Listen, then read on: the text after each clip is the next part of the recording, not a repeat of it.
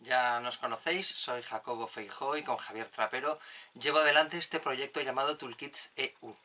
Hoy os venimos a hablar del último producto que hemos lanzado, que es el Toolkit de Procesos de Creatividad e Innovación. Hemos estudiado varias teorías como la de Amabile, los seis sombreros de De Bono, Guilford, Wallace, muchas, muchas teorías, y hemos descubierto que todos aquellos que han estudiado la creatividad han llegado a la conclusión de que sigue siempre los mismos pasos. No tiene que ser necesariamente en un orden determinado, pero sí se producen los mismos pasos. Y que la creatividad, para realmente ser innovadora, para realmente aportar algo, tiene que responder a unas preguntas. A partir de ahí pudimos estructurar este toolkit que os hemos traído, en el cual tenemos una serie de fases de la creatividad para que los equipos de diseño o los equipos creativos puedan seguirlas y, poder hacer sus creaciones o sus innovaciones. Y además de esas fases tenemos unos objetivos y tenemos unas teorías que ha habido, unas metodologías de creatividad. No solo eso, hemos conseguido sintetizar todo el proceso creativo en cuatro preguntas. Cuatro preguntas básicas que a su vez hacen una llamada a muchas preguntas eh, accidentales. Pues por ejemplo, ¿qué queremos? Más sonido, queremos menos unidades, más ligereza, más ligereza, menos sonido, más unidades. A través de estas combinatorias se van planteando esas preguntas de la creatividad que se resumen realmente en una, que es ¿y si...? A partir de ahí hemos creado este toolkit, son 60 cartas, creemos que es muy práctico, eh, le hemos dado además una vuelta de tuerca a la, a la estética, eh, Javier Trapero eh, ha aportado su, granito de arena en todo el, diseño estético, ha mejorado muchísimo el toolkit y ahora os vamos a ver un pequeñito vídeo donde podéis ver pues eh, cómo, son estas cartas y un poquito el uso que tienen. ¿Sí? Venga, vamos a disfrutar. Bueno, ya veis, como siempre tenemos aquí nuestra lata de metal, ya la conocéis sobradamente, es ya una característica muy propia de nuestra empresa. Y dentro de ella pues tenemos en primer lugar unas instrucciones, como siempre hacemos, que explican un poco pues eh, de dónde sacamos toda la teoría que, hemos eh, diseñado. No, nos hemos inventado nada, esto lo ha estudiado gente mucho más inteligente que nosotros durante mucho más tiempo. Sencillamente hemos sintetizado teorías de muchas de estas personas. El pack en sí consiste de lo siguiente. En primer lugar tenemos un objetivo. En todo momento tenemos que tener muy claro que una innovación, una creatividad debe responder a las preguntas ¿es original, nuevo, distinto? ¿aporta valor de uso? ¿es viable tecnológica y económicamente? Esta carta debería ser siempre nuestro objetivo, no podemos perder este foco. En el momento en que perdamos este foco, lo que hemos hecho ni es creativo ni es innovador. Por lo tanto, esta carta va a ser una carta fija que siempre nos va a permitir en todo momento saber hacia dónde queremos ir, no, no desorientarnos. Es la carta foco, es la carta del objetivo al cual se orienta toda creatividad o toda innovación. Después tenemos unos 10 pasos, como vemos aquí, las 10 etapas de, la innovación, ¿vale? Tenemos la percibe, define, prepara, idea, incuba, ilumínate, esboza, evalúa, pivota y ejecuta. Eh, estas 10 fases, como hemos dicho, eh, es la que coinciden prácticamente el 90% de los autores, no tienen por qué darse en este orden, pero nos van a permitir en todo momento saber en qué fase del diseño estamos y qué debemos hacer en cada una de las fases.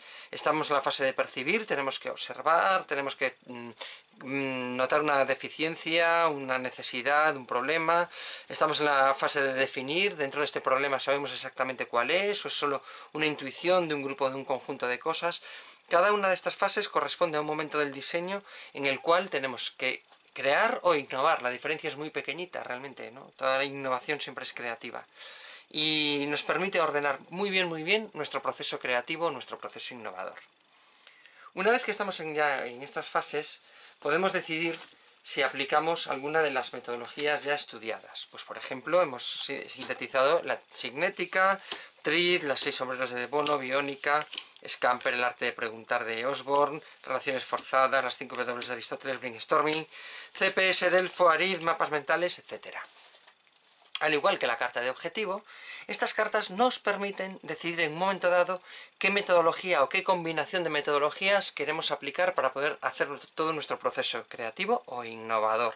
Si tenemos especialmente interés en alguna de ellas, nos podemos remitir a los toolkits que próximamente vamos a lanzar o sencillamente podemos buscar información de, por ejemplo, en qué se basa la metodología Delfos.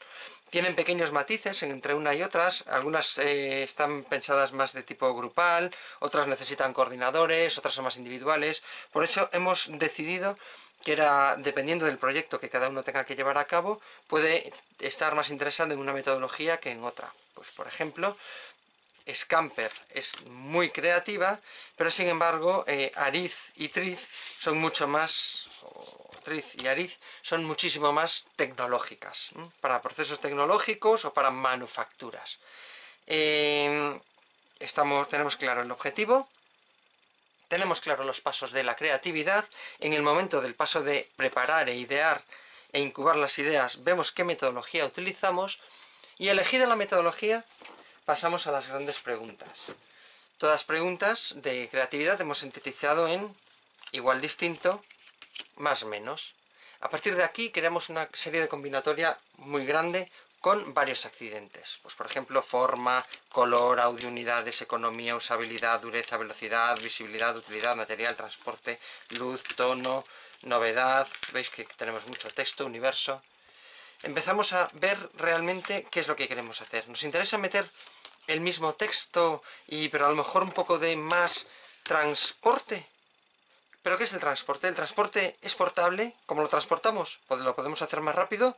¿Lo podemos hacer con menos unidades? Si aprovechamos otro transporte, podemos ya empezar a hacer combinatorias. Y si cambiamos, hacemos un, una imagen distinta en el transporte, ¿Qué es imagen? Ponemos, quitamos imagen, la combinamos, la ampliamos, ponemos solo una parte de una imagen, hacemos mosaicos, hacemos una imagen plana.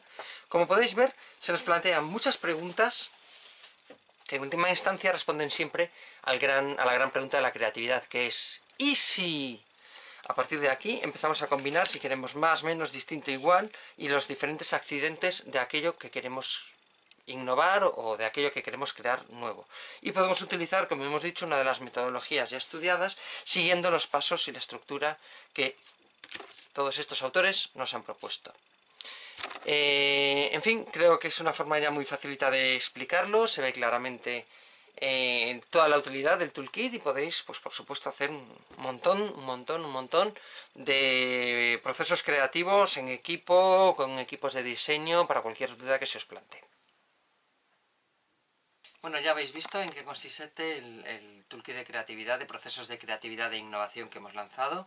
Como siempre podéis eh, mm, enviarnos cualquier feedback, ruego, pregunta, duda o sugerencia al correo electrónico contacto arroba toolkits.eu o nuestra página web www.toolkits.eu. También estamos en un canal de Telegram llamado Diseño Narrativo, donde mucha gente afín al diseño narrativo se está juntando para compartir ideas, información, etcétera en nuestras redes sociales de Twitter y en Instagram. Por supuesto, estamos aquí para ayudaros en lo que haga falta. Un saludo.